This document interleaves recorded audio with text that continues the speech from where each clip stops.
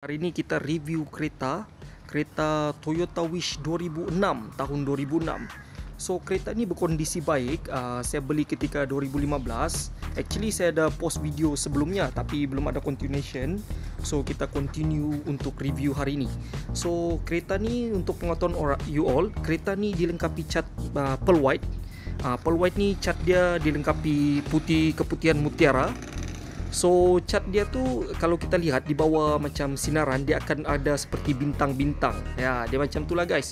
So okey, apa yang menarik pasal kereta ni? Uh, kereta ni dulu dilengkapi rim 15, rim asal Toyota. Sekarang kita dah upgrade ke rim rim actually ini rim-rim Audi, rim Audi uh, buatan Taiwan. Dia bukan rim ori, tapi so far kita guna okey dan tayar Goodyear juga emblem Toyota. Emblem ni dulu asalnya emblem Audi tapi kita dah beli uh, separately custom. Uh, kita dah tukar pergi emblem Toyota.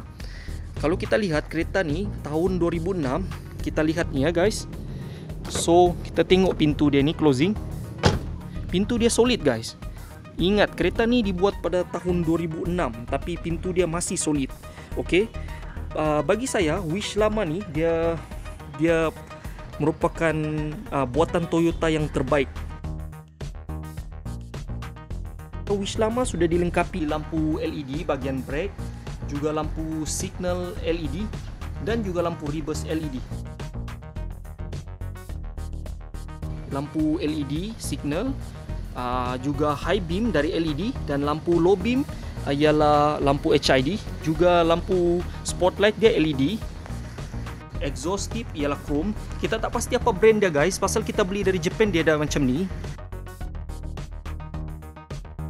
Man, kita lihat. Steering dia ni uh, ialah leather steering. Tapi uh, dia ada ada sedikit kusam sebab dia kereta lama. Tapi kalau kita lihat guys dia punya dalam ni dilengkapi oleh uh, plastik face ya. Uh, di, kita lihat dia berkilat. So engine dia juga uh, sistem kunci dia kita ada upgrade ke push start dan keyless head unit dia menggunakan JVC uh, JVC head unit. Speaker dilengkapi oleh speaker buatan Itali Hertz okey? Apa kata kita start engine dia? Dengar bunyi. Okey begitulah bunyi dia guys. So kalau kita tutup pintu ni actually bunyi dia tak dengar sangat kat dalam. So bunyi dia memang senyap guys. Okey So kita lihat semua di sini ada auto window dan juga power window. Okay.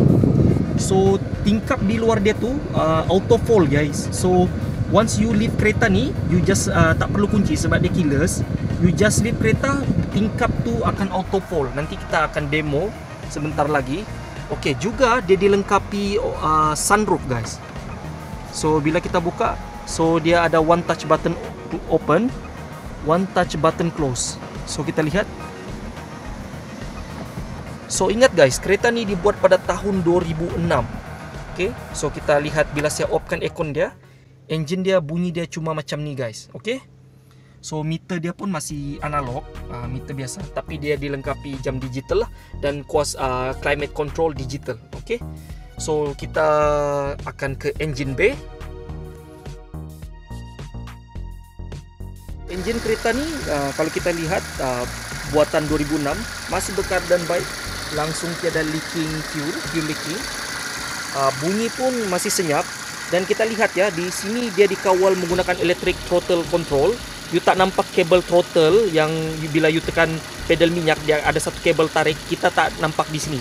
Sebab ini puli electric control okey ya dia juga dilengkapi electric power steering. Jadi pengguna Toyota Wish yang pada dibuat pada tahun 2006, 2005, kita recommend you all guna minyak uh, Castrol Edge. Saya Castrol Edge tu dia minyak yang baik ya. Dia tak terlalu nipis untuk enjin tua. Uh, dan dia juga tak pandai kurang sekiranya enjin terlalu panas. Certain engine, enjin lama ni biasa dia bila dah panas dia overburn. So minyak you kena top up minyak uh, enjin tu tapi Castrol Edge dia memang sesuai untuk engine engine engine yang berumur lah macam engine ni. So engine dia juga baik tak ada hal. So kita continue review ke bagian absorber dan suspension.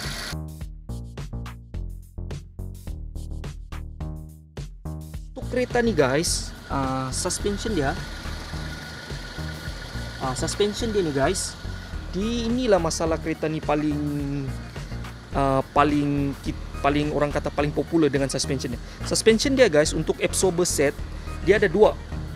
Either menggunakan Kayaba ataupun menggunakan suspension jenis kompat uh, original. Kalau kita guna Toyota original, uh, absorber dia ni guys untuk depan set saja, set depan saja sudah mencecah 800.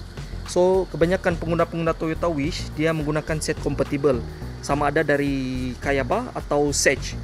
Yang mahal sikit tu biasa lasak kita guna Kayaba. Kalau kita nak guna yang set uh, set murah kita guna Sage, Sage suspension. Dia murah sikit dia biasa buatan uh, buatan China atau Malaysia tak silap. Tapi Kayaba tu memang imported from Japan. Okay, so absorber depan dia mahal sikit absorber belakang dia murah. Okay, another thing wish ni bila dah pasang rim besar bila suspension dah lemah suspension spring dah lembut kita recommend you all guna spring buffer yang spring getah tu. Wish biasa size depan dia ialah C belakang ialah D. Tak silap saya lah macam tu.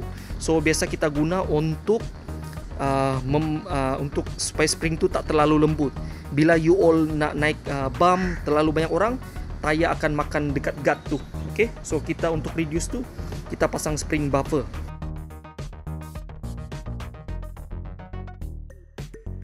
kereta ni dilengkapi keyless entry.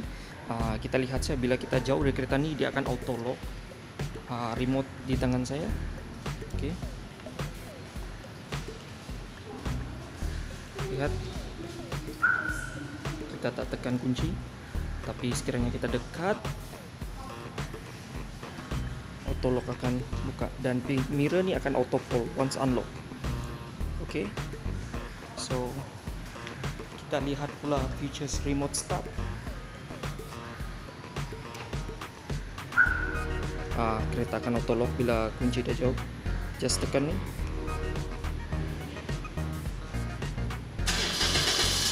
Kereta dah start. Ok dan safety dia bila kereta dah start pintu masih berkunci. Unless you unlock. Ok So itu dia keyless entry yang kita upgrade di Toyota Wish ni.